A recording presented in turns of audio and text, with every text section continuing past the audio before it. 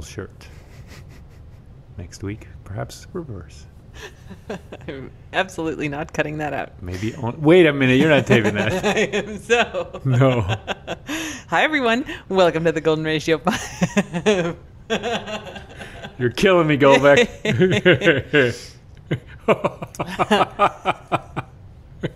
Hi, everyone. Welcome to the Golden Ratio podcast. I am Jen, GR Mom, joined as always by GR Dad. Hi. He is, in fact, wearing pants. Fully clothed.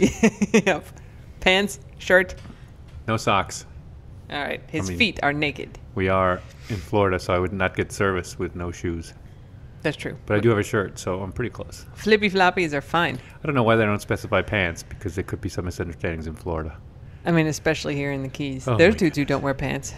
There was a dude in one D.C. who dude. didn't wear pants. Yeah, that's true. I mean, they were sort of pants. He sort of had pants. All right. So we got a lot to talk about, GR Dad. Oh my goodness. That Uh, this is usually trouble. Am I in trouble? The cocktail of the week is the Halekulani cocktail. It's good. Yeah, it's uh, it sounds like it's gonna be tiki. Yeah, I thought it'd be more pineapple It has lemon juice, orange juice, pineapple juice, um, a little bit of demerara syrup, which is just simple syrup made with demerara sugar, which is kind of like the sugar in the raw that you get in the packets. It's slightly different than that, but it's Mhm. basically that. It's in that direction. Yep. Uh, grenadine, a little bit of grenadine, and bourbon Yeah. instead of rum. Right. Dash of bitters. It it tastes a lot like a whiskey sour. Yeah. It's like the, the tiny little twist. Like a whiskey sour would basically be the syrup, the bourbon, and the lemon juice. This has a little bit of orange and pineapple juice, but it doesn't actually change the profile that much. It's not Yeah. like like as you said, it's not like a punch. It would be in, the tub thumping song. It'd be a whiskey drink, not a tiki drink. They don't have a tiki drink in there.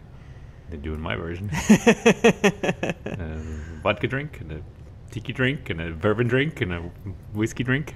we sang that. Drink that reminds me of the good times. We did a ukulele version of that. You know the words now. Tiki drink. it's not in there. It's been a long time. Yeah. Okay. We have so much. Uh, You keep is- saying this like anyone's got anywhere to go. uh, uh, look, what I'm saying is, the last few weeks we've been like, well, you know, there's not a lot of dog news, and that's okay. And now we have a fuckload of dog news plus other stuff. There's many things this week. You're bubbling with excitement. Go, Well, d- dive just- right in. let's do Di- it. Dive right in, Jen. Dive in. Dive in. All right, let me start by saying when I was looking at this list earlier today, I was like, we basically have stuff to report for everybody except Vink. And then Vink decided, I'm going to have my skin all over my tongue break out, which is a thing that she does, and it is a thing that she decided to do this She afternoon. just does it for attention. Yep. So, anyway, she's going to the vet tomorrow to get her anti itch shot, which we are supposed to get her every month, and we just have not been doing quite as often. So, Ugh, this month begins a regular every 30 days because I feel bad for her. It's like all broken out belly. it's sad. But I, I mean, she's fine. But a itchy baby. and she's going to the vet tomorrow. So that's Vink. All right. Things that are not Vood's foods. Let's let's go by dog. We're gonna have to the whole list, or this is the latest updates to not food. This, these are just the latest updates. Yeah, they are. Uh, thing number one that Voodoo ate. We're going in chronological order. Your pepper plant. Yes, he, I I have my suspicions as to why because I put some coffee grinds around the base of it to keep the slugs away, but it attracted a vood instead. Do you want to share your Voodoo coffee theory? Because you have, I think, a three-part theory. Yes, I can't remember what else. He though. took your coffee travel cup. Yes, I was. I just left it on the stairs, and he took it. It's like one of these sort of metal ones that you know keep the coffee hot or the cold drink cold. And he sniffed it very extensively, then knocked it off the stairs, and then picked it up in his whole with his like from the side with his mouth. I didn't. It's like he he snaked it. Like he, he unhinged his jaw. I mean, it's a big mug, Yeah. And he just started carrying it away. I think he likes coffee. Yeah, and then he did eat the coffee grounds. I'm, Yeah. We'll remember the other thing too. So, thing number two that Voodoo ate. So we have, uh, I like to call it a citrus grove. Yeah. Grove, Legit. it's a little grand. Grove, it's a little grand for what we have. It's four citrus trees. No. Um, we had two key limes, a lemon and a blood orange, and uh, our all of our citrus trees got attacked by some sort of insect over the winter. Um, really small insects. Like you can see their traces, but not the. yeah, just kind of see the egg sacs left. Uh, one of the key lime trees bit it. Uh, everything else was in very bad shape, and we kind of managed with some aggressive treatment to kill one round of the bugs enough for the plants to basically get a new set of leaves coming, and that was okay. But the bugs started coming back, and so I posted on Nextdoor, which is always an iffy proposition. Um, but there are a lot of people down here who know about plants. There's also a lot of people who don't know what the hell they're talking about. But we did get some good advice to try Organocide, which is uh, an organic. It's it's actually just oil. It sounds little bit of terrible, but it's actually not as bad sesame as it oil, fish oil. It it's like safe for bees. It's like a gloopy, oily stuff. Yeah, and uh, and you spray it on the trees, and it kills the bugs. Then you dilute it and spray it on yes, the trees, yes, and it kills That's a yes. very good point. Um, so you know, we obviously love the bees as former keepers of bees, and uh, you know, don't want to be. And the the other thing that someone had recommended is Sevin, which is a uh, bug killing thing that everybody keeps thinking is illegal because it's That's not illegal. Bad sign. but uh, it- I mean, it kills bees. It kills kind of everything. It's toxic to fish. You're not supposed to use it where there's runoff, which, like, literally where we live is a place that everything runs off into the ocean. So, uh, organocide is what was recommended. And GR Dad had actually bought neem oil, which is another one of these sprays. It's like a, a variation on Oily the thing, yeah. um, an insecticidal soap. These are all these kind of natural things that will kill the bugs that eat your plants, but are, are safe, including for stuff that you're going to eat. Yeah. So we went to Home Depot. We bought a bottle of concentrate organocide, and you put whatever, like a we got a hand sprayer, and you it's like a like gallon, half gallon yeah. Mm-hmm. hand sprayer, and you put an ounce and a half of the organocide in there. So it's pretty concentrated stuff. Sesame oil, fish oil are the main two ingredients in it.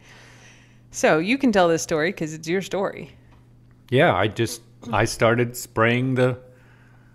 I I like had the dogs out. I brought all the dogs inside and dried them all off, and then started spraying the tree, and you know refilled it a few times and put the put the oil container. It's kind of like the size of a well, a little smaller than an oil container for About for a car. same. Like it's Yeah. eight eight or twelve ounces or something. Yeah. So I put it down, you know, on the porch, and I'm spraying, and I turn around and I see Voods, who'd been sleeping, you know, between the cars or something, uh, like apparently eating rocks. And I was like, oh, that's interesting. He's now he's eating rocks. I'll come over and tell him it's not Voods Foods. And he had bitten the top off the co- container. It had spilled, and he was kind of lying on it, licking the stuff off the rock. So I have no idea how much he ingested because a lot of it just soaked right into the ground. But I, I was Um, swimming, so I get was- back and yeah, and there was still some in the container, yeah. and so I Google it, you know, immediately, and I'm like, and they're like, well, it's safe, it's probably fine, it's you know, you don't have to, it's not poisonous, it's organic, and all this, and I was like, this is not. That's for like eating a lemon that's been treated or something. Yeah, so I get back from my swim, which is where I was when this is all happening. I get in the shower outside, and GR Dad's like, Jen, I need your help. And I was like, Do you need my help right now? Like, I have a handful of shampoo I am about to put on my head. And he's like, Yes, right now. And yes, I'm I have a bottle of Uh-oh. hydrogen peroxide. and he's like, Voods ate the organocide.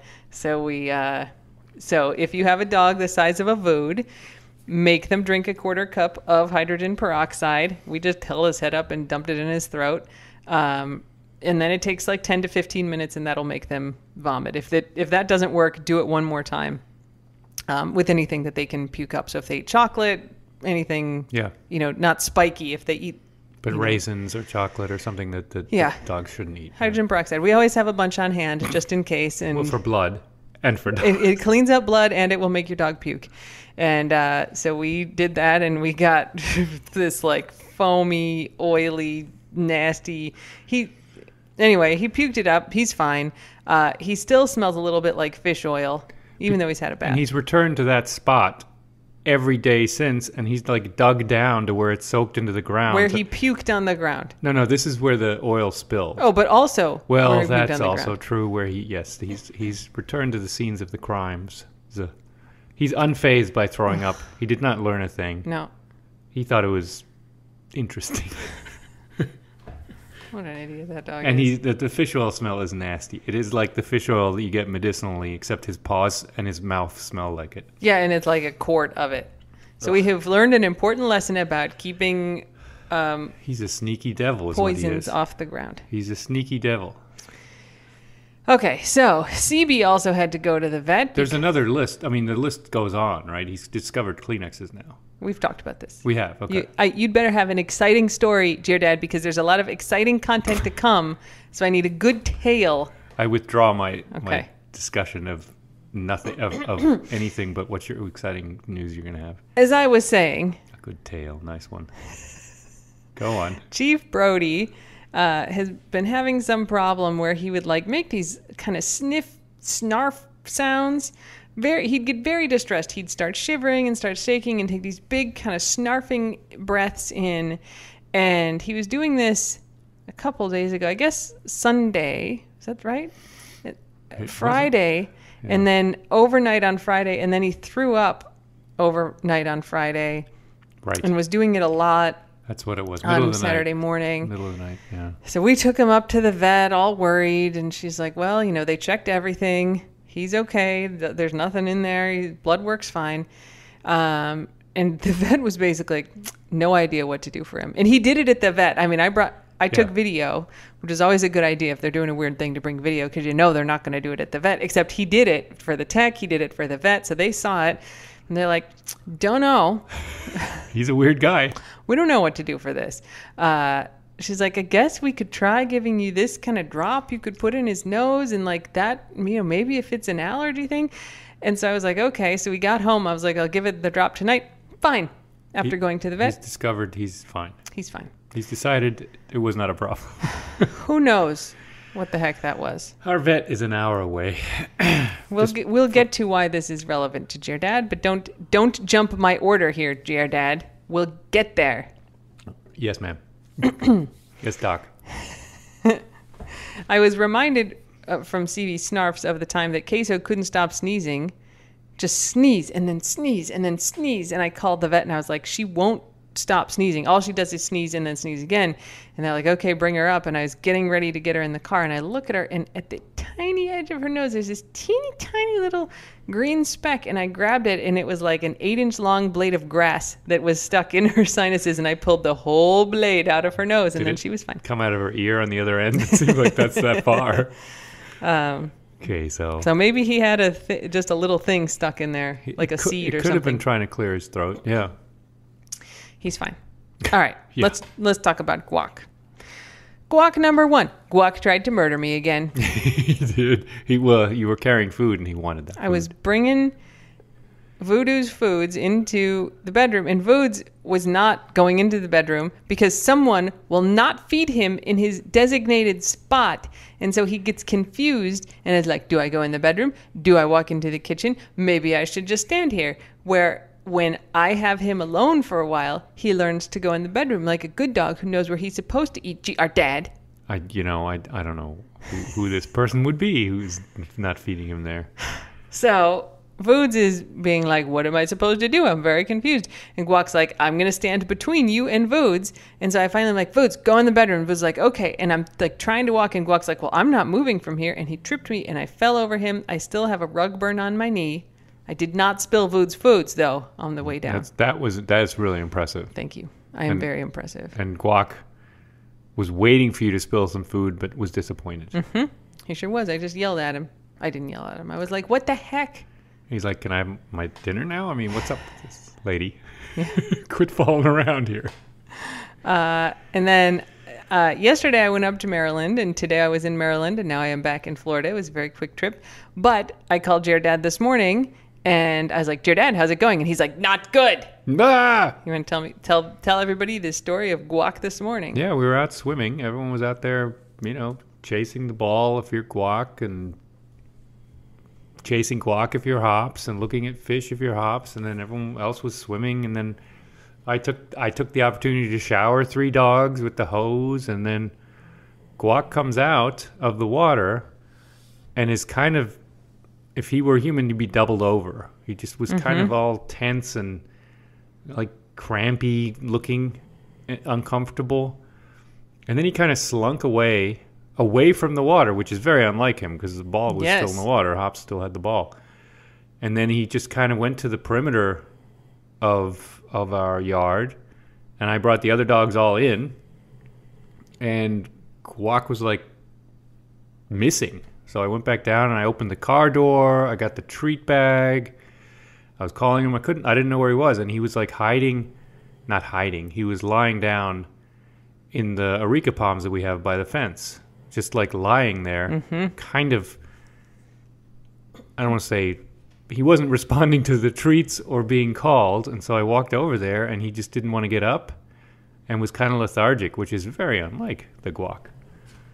Um, so I basically picked him up, threw him in the car, Yeah. and went to the vet and started calling. You know, called the vet from from the car and said, "This is what's happening. He's acting really weird." And they're like, well, "Bring him in. We'll take a look, and you know, then we'll fix him up." But it was a forty minute drive, so I had him in the car all the way in the back, so I couldn't see him for forty like, minutes. is he it was, it was terrible. It was terrible. Yeah. I mean, skip to the end. He's fine. He got out of the. I mean, you had to take him out of the car at the vet. Yeah, he didn't want to hop out of the car the way he usually does. He was less bouncy. But as soon as we got into the vet waiting room, he's just going around licking people, all happy, wags. He's They've- fine. He decided he's fine. They have the crash cart ready. Basically, yeah, they had everything like ready for him having a punctured lung or or a heart attack or drown or something, right? They they're like, is Yeah. his are his gums, you know, uh, are his gums white? Do we is he fo- how much is foaming? Is there blood? You know, and I was like, I don't know. I can't see him. He's in the back of the car. he seems quiet. but it was a terrible drive. It Yeah. was awful. But he was fine. He was, and now he's been fine ever since. He doesn't hop as much. He's not as jumpy. No, he. There's something that's sore. Yeah, yeah. He But may they have. did a whole bunch of tests and poked and prodded. yeah, they and did blood work. blood they, and- they they prodded him and poked him, and he's not. He doesn't have bloat, which was, could have been a real scary thing. Yeah. Or, and he doesn't have.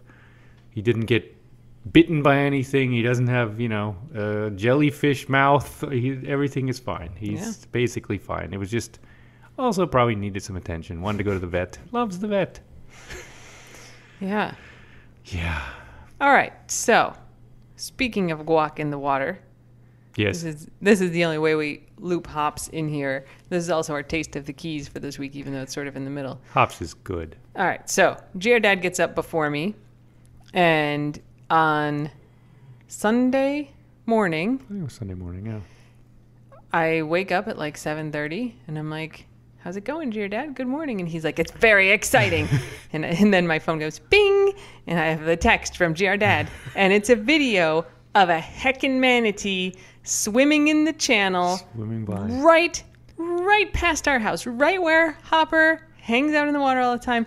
Big ass manatee swims past the house. Yeah, in my defense, I was downstairs. I couldn't like get to you to wake you up, and so I just taped. I just It's videoed great. it. It's great. Uh, this is the first time you've seen But it's like a whale. I mean, it's like a small whale. They're giant. They, they, the nose comes out and breathes like a whale, Yeah. and the, the the fin makes these circular patterns on the surface of the water because it's like going up and down. I mean, it's awesome. It's Yep. really awesome. Yep. Uh, so all day we're like, well, if the manatee came in, maybe the manatee will also come back. Uh, so we're looking out, looking out. You know, And it's on. I mean, there's other exits, and it's not Yes, a total it dead would end, not have to come back yeah, this it way. just seemed very optimistic. So we go run some errands, and I'm like, and so it's then mid afternoon, and I was like, okay, uh, because I can't run because I have this hamstring injury, I'm swimming a lot. I'm gonna go for a long swim. So I like get changed. I'm in my swimsuit. You I wet got yourself down in the shower. Yep, right? yep. Got the earplugs in, get my mask like anti fogged, put the mask on my head. I'm walking into the water, and like literally, this is ridiculous. At the moment, I am walking into the water with my snorkel mask and all my swimwear on, ready to swim. The manatee comes back. It's un, like the whole entire ocean is out there, and the manatee and you intersected in this little speck of, Tiny speck spot. of ocean. It's a it is not, it can't it would like we have to bet money if we're in Vegas or something because it's amazing odds. I had to pull the mask off my face to yell, Ingo! That the was- manatee's back! That was nice that you did that, yeah, because I could look out the uh, top story window and I could see it. Yeah, So Hops and Guac are in the water at this point. useless. As the manatee is swimming past, Hops and are in the water. Didn't notice it. Nope. This is the only story we have about Hops. Did not notice the massive manatee. He'll see little every little freaking crab. She'll see every little crab around her her paws and every little rock, but doesn't see a manatee that's like six feet long. Oh, it was way longer than six It feet. seemed real big.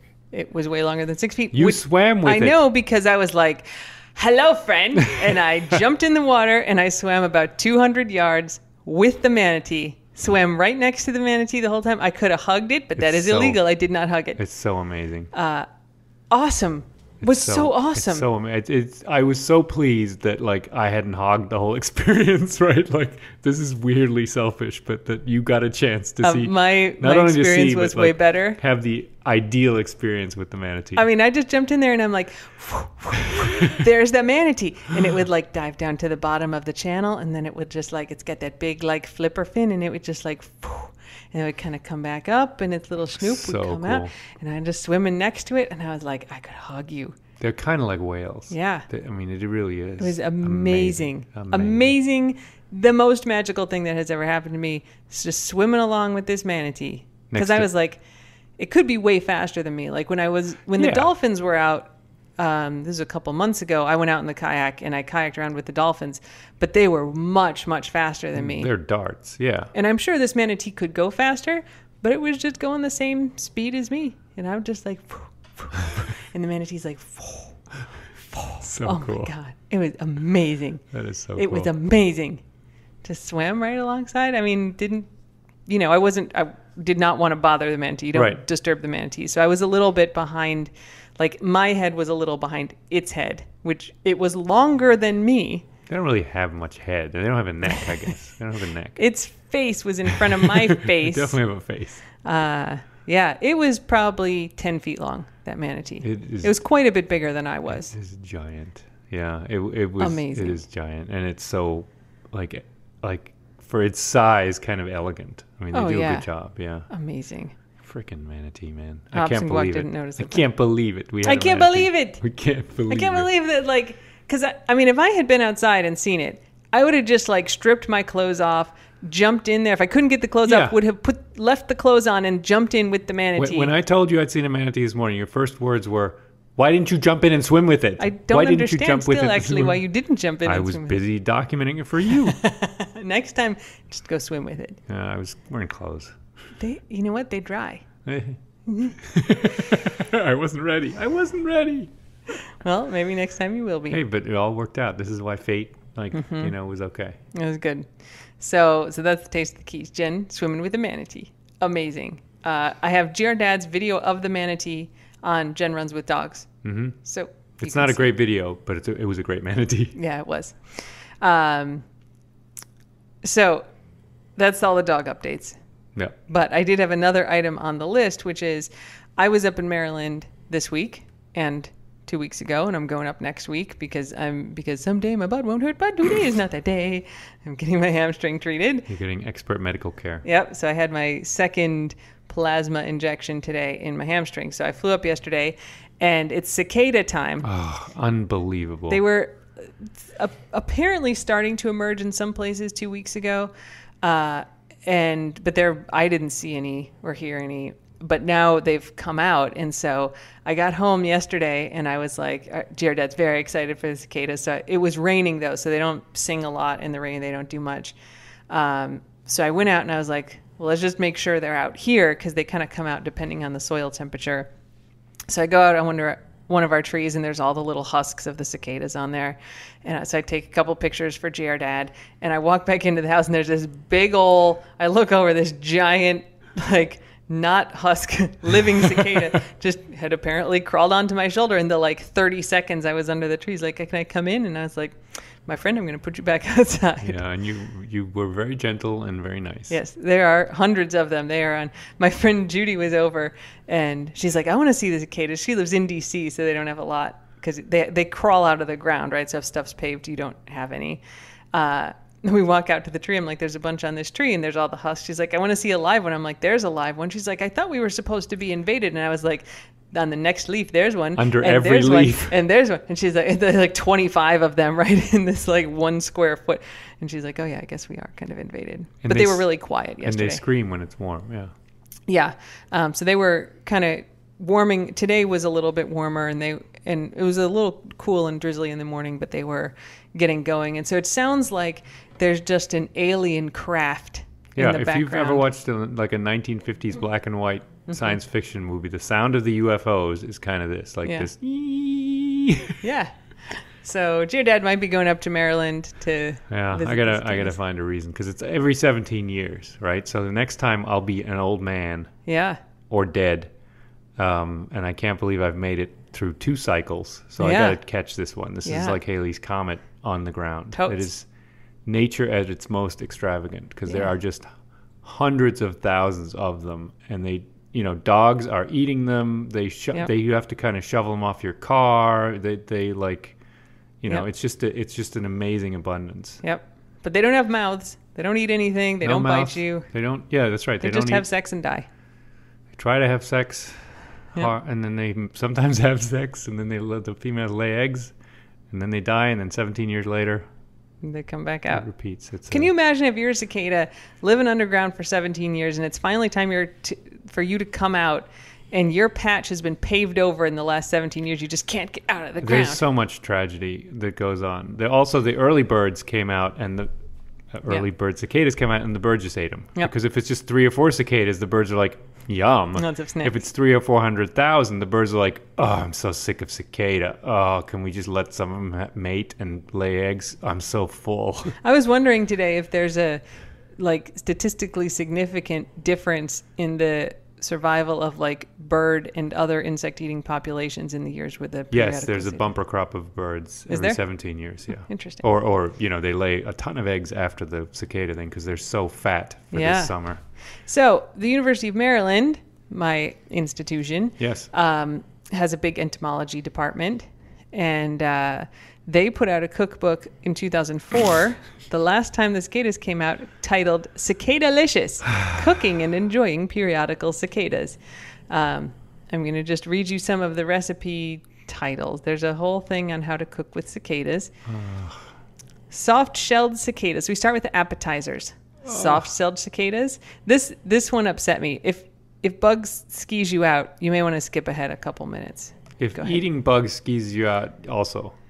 So soft shelled cicadas. It's a cup of Worcestershire sauce, 60 freshly emerged 17 year cicadas, Oh four God. eggs, three cups of flour, salt and pepper, and corn oil. That's for frying them. What if they're 10 year cicadas? This only is for 17. Oh my God. So Here's the specific. directions. Ready? Yeah. Marinate the cicadas Mm. alive in a sealed container No. in Worcestershire sauce for several hours. No. what is it? This is not for vegetarians. No. This is terrible. That's, that's all we need to read from that one. Marinate them alive. Just let them crawl around in there. All right. no. shh. I'm a vegetarian. I would not do this. Yeah. Shanghai cicadas, Oh, God. cicada dumpling. When 2004 were we more racist in 2004? okay, go ahead. I, I'm not sure that this is necessarily Mm. uh, racist. I I think a lot of these are takes on like existing recipes for Dishes. Yeah, Uh, like there could be Shanghai crab or something like that's actually from Shanghai. Cicada dumplings, cicada stir fry, Maryland cicadas. I, it took a while to find the cicadas in this recipe because it's basically a crab boil. So it's a half a cup of Old Bay, salt, four quarts of water, one can of beer, eight red potatoes, two large sweet onions, two pounds of smoked sausage, eight ears of corn. So you boil the Old Bay and all the other stuff, and then the potatoes and onions, and then you throw in the sausage and potatoes, and then you add the corn. And I'm like, oh, Yes. Oh, and then you add four pounds of large cicadas. There it is. Four pounds? because they're going in place of the crab. What is this? Like that's like Maryland's. It's a like potato Maryland. bag. Oh, this is giant. This That's is a crab boil, but with four cicadas. pounds is a lot. To Yeah. get to four pounds of cicadas, those things aren't that heavy. No, no, it's a fuckload. They fly. yeah. I mean, so this is. Oh. it's like four pounds of styrofoam. It's gonna be giant. It's just how you would make crabs. They just replaced four pounds of Maryland crabs, blue crabs, with four pounds of cicadas. Ooh. Ready? El Chirper tacos. tacos. Okay, now desserts. There's several pages of desserts. Wait, there's uh, El Chirper tacos. Uh, heat butter or oil in a frying pan and fry half a pound of newly newly emerged cicadas for 10 minutes or until cooked through. Like the the pre crunchy ones. Is that what I think- you're talking about? uh, the, I think it's got to be The- Crunchy. no, no, no. After maybe after they well, yeah, they they mean the brown ones before they molt. That would be freshly emerged, right as they crawl out of the ground. Throw them in there. Mm. You ate those grasshopper tacos; they were crunchy. Taste like exoskeleton. Didn't have a relationship with the grasshopper. Anyway, you fry those cicadas, and then it's like serrano chilies, tomato, onion, cumin, taco seasoning mix. So it's a real authentic Mexican dish. you know it is. Okay. Uh, dessert chocolate covered cicadas. The recipe is just 30 dry roasted cicadas and eight squares of good semi sweet chocolate. So you can. It says roast teneral cicadas. What is teneral? Teneral? Of or relating to or constituting a state of the imago of an insect immediately after molting. Oh, okay Soft. fresh like cr- the white the white big nymphs. bodies after no no no the nymphs are the brown things that crawl out of the ground Oh. and then when the adults crawl out of the nymph shells but Grab before those. they It's harden like a soft they're shell white- crab. yeah Which is also kind of a abomination. so you grab those cicadas right after they molt but before they can harden up Oh, and then Pete's you dry roast them. Uh, you roast them for 15 minutes at 225. That's a dry roasted cicada. And then heat your chocolate in a double boil. Dip the insects in chocolate paste. Place on waxed paper and refrigerate until hardened. Cicada rhubarb pie. I'm surprised someone went to all this trouble and and probably tested these recipes. Probably was like, you know, sitting next to a tree waiting for cicadas to emerge from their shell and out of the ground. And Oh be yeah. like, well, that's one pound. Four cups of chopped chopped rhubarb and one cup of fresh cicadas washed and any hard parts removed. That's all of them. That's a lot of it. Oh, Fresh cicadas. Chocolate chip trillers. These look like cookies with half a cup of dry roasted chopped cicadas. They apparently go in place of the walnuts. That's how great. much walnut you put in. Great. Banana cicada bread. also a quarter cup of dry roasted cicadas in there. You can find this on my Twitter feed, the, my professional Jen Golbeck Twitter feed. I am a vegetarian, and sometimes it pays off a lot, and this is one of those times. One Yeah, those this times. just seems like um, let nature run its course and let the birds eat it and dogs and whatever else eats them. There you go. Uh, I will not be eating any cicadas. I won't kill any of them. And for the record, I didn't like the grasshoppers that much. No, you didn't. No, too chitinous. We uh, we are ti speaking of cookbooks. GR Dad and I were brainstorming ideas and have talked about a cocktail of the week cookbook. It would be cicada free, Yes, Yeah. so that's that right. that could be a thing. it might have dogs in it, but not as recipe Dog ingredients. Not as ingredients, Mhm, as mhm. consumers, as Uh, judges. Judges, I don't think we'd let them drink the No, cocktails, judges. they can watch. They can look the aesthetically judge the aesthetics. You got a German word of the week?